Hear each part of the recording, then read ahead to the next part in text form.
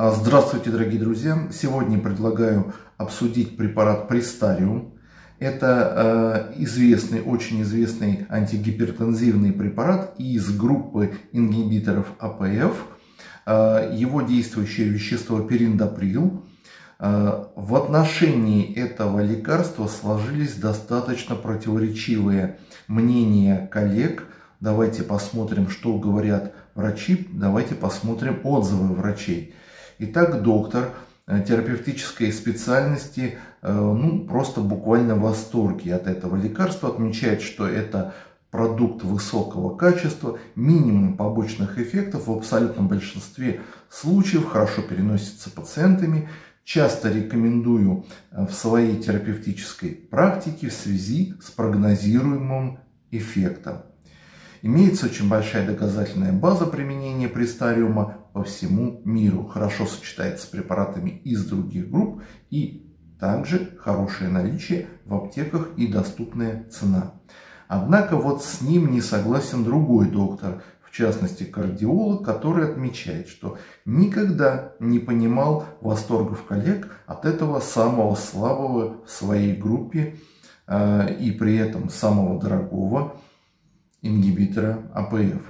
Ниша применения э, данного препарата э, престариума мягкая, ну, разумеется, в кавычках, мягкая гипертония. Но при этом э, в этом случае также хорошо работают и другие ингибиторы АПФ, которые стоят в несколько раз меньше.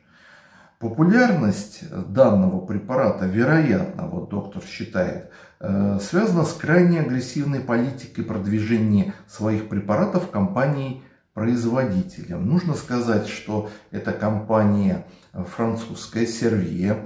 Э, мне э, также очень хорошо известная данная компания в связи с тем, что когда-то выпустила на отечественный рынок препарат Кааксил, это анти, э, антидепрессант, который э, затем э, убрали полностью с рынка э, и вообще э, фирма Сервье э, не желает ассоциироваться вот свое, свое имя, не желает ассоциировать с этим названием Кааксил, поскольку он стал применяться лицами с наркотической зависимостью.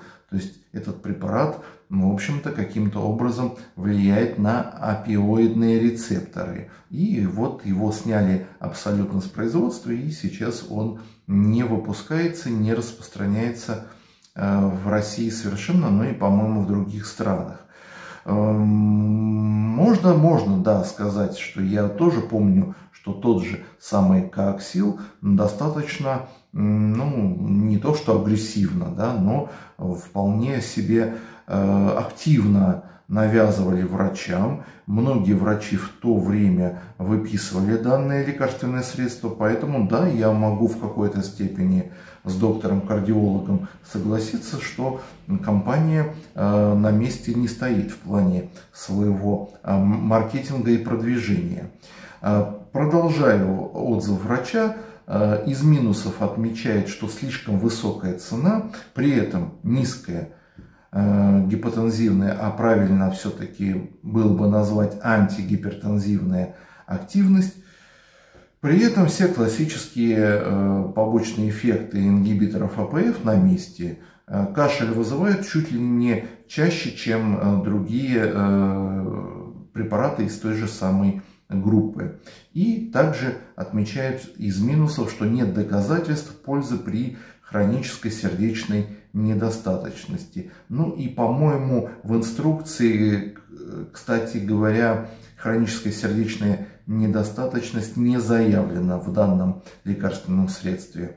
А, далее доктор пишет, что назначают крайне редко, его чаще заменяют более, э, более эффективные и э, более дешевые препараты из группы ингибиторов АПФ или сортаны.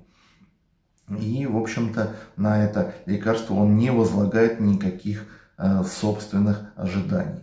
Вот такой небольшой получился обзор на данное лекарственное средство. Благодарю всех за внимание.